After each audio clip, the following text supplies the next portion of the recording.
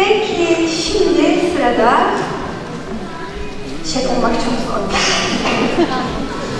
Efendim şimdi bizim koronun şöyle bir geleneği var. Önce bir kişi geliyor. Sonra biz onun eşini alıyoruz. Sonra çocukları geliyor. Böyle bir toz bölünmeyle çoğalıyoruz. Seneye sizleri de bekleriz. Ee, efendim, solistlerimiz Kemal Kaya ve Özgün Dilek Okan Kaya. Şu karşı kıyayda, şu karşı yayla göç kater kater diyecekler. Bağlaması ve istiyor.